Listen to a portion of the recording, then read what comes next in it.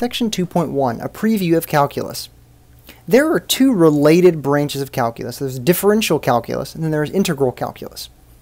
Each of these branches came out of a search for a solution to a particular problem.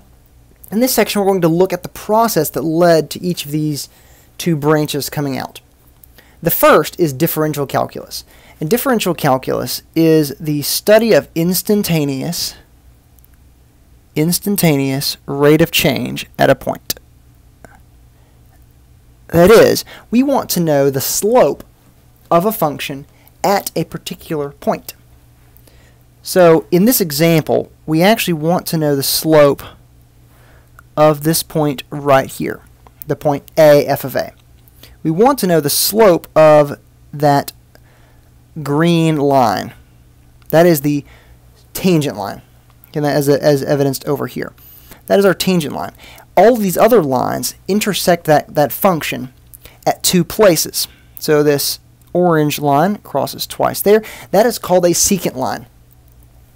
And what we actually do is we begin with the slope of a secant line. We can find the slope of the secant lines, and as our points where they cross, as they get closer and closer to this point, it approaches that green line.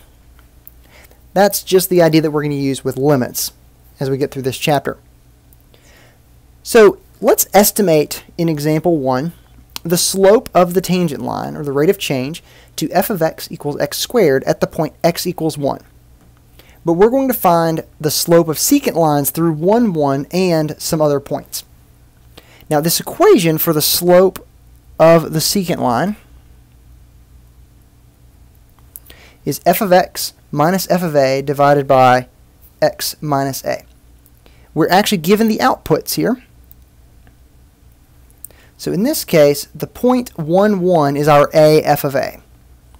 So that is f of x, that will be 4, minus f of a, which is 1 divided by x, 2 minus a, which is 1. I'm going to go ahead and write this in that form. Now finding that, that is 3 over 1. So the slope of our secant line is 3, going through the point 2, 4. Now let's consider the slope of that secant line, but we're going to go through the point 3 halves, 9 fourths. F of x minus f of a divided by x minus a. Well, our f of x will be 9 fourths minus f of a, which is 1, divided by x 3 halves minus a, which is 1. That will be 5 fourths and 1 half. So simplifying that, we get 5 halves. So the slope of our secant line is 5 halves. If we repeated this process and allowed the change in x or the x values to approach 1, if we allow the change in between our x and a to go to 0 as they get closer and closer together, that will approach the slope of the secant line at that point.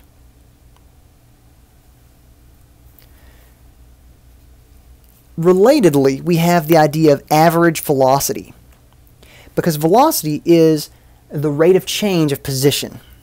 So if s of t is the position of an object moving along the coordinate axis, at time t, then the average velocity of the object over a time interval from a to t, where a is less than t, so let's assume this is the smaller value, or t comma a if it's the other way around, is v average, and it's s of t minus s of a divided by t minus a.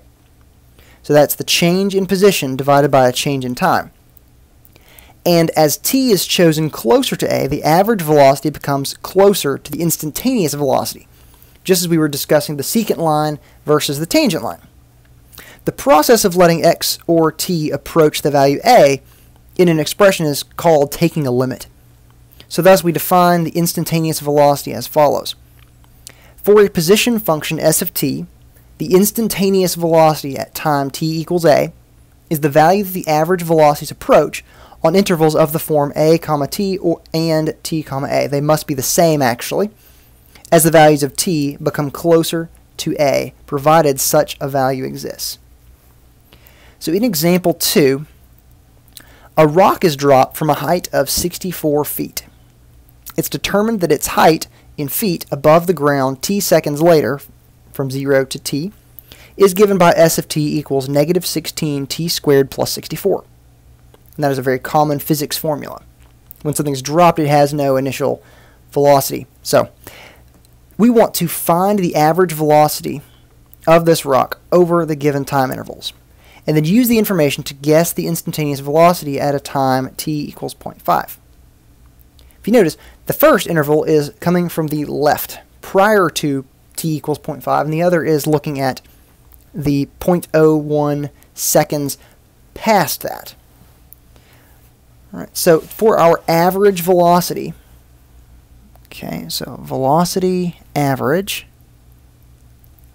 equals s of t minus s of a divided by t minus a.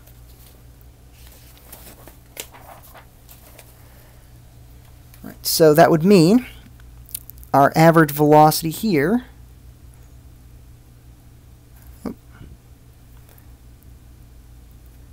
is s of, in this case, our, our value is 0.5 for a. So this is of the form t comma a. So this would be s of 0.49 minus s of 0.5 using our function notation divided by 0.49 minus 0.5.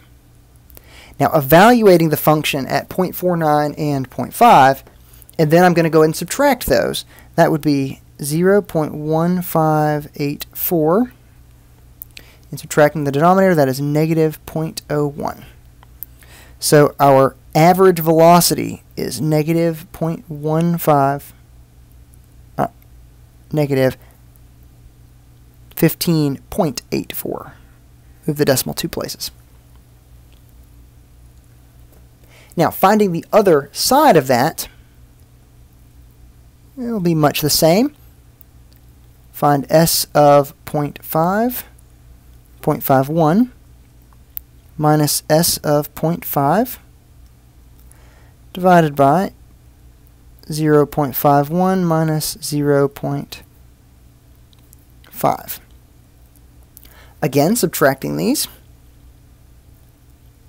0.01 is for the denominator and negative 0.1616 for our numerator, which means our velocity is negative 16.16. Now those are both in feet per second. Let's go ahead and add that.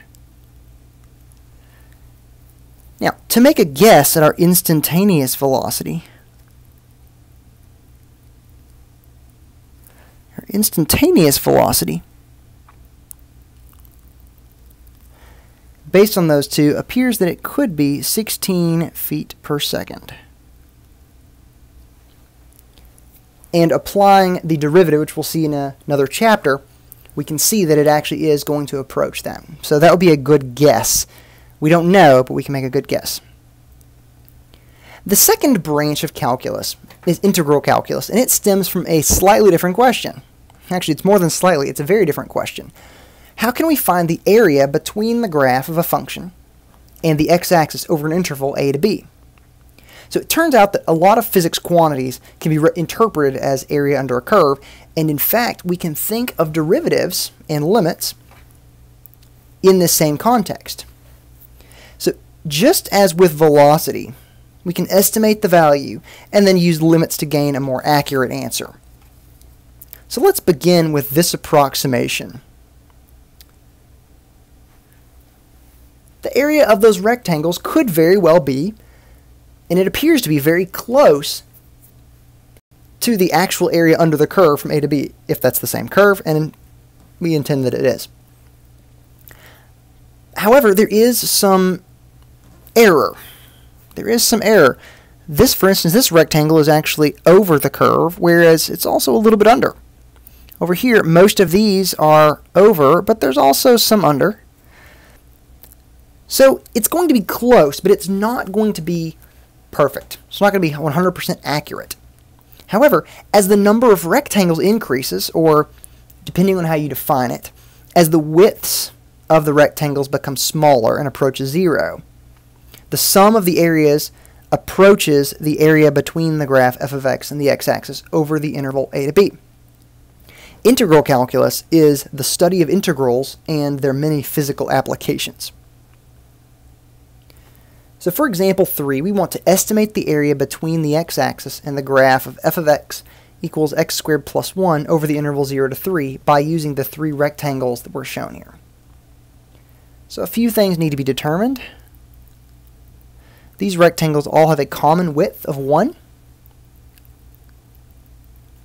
This is actually very much a geometry problem. Our heights, our respective heights, are 1, 2, and 5. So our area can be found, our width, our height times our width. So 1 times 1 plus 2 times 1 plus 5 times 1, which is a grand total of, if we actually factor the, the 1 out, I'm going to go ahead and write that this way. If we factor that 1 out and add those, that is going to be 8, so this will be 8 units squared.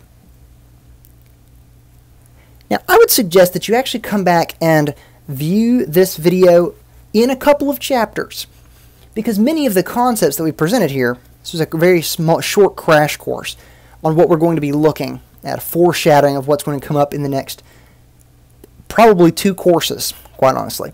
So look for some of these things as you go through and try to make some of those physical connections.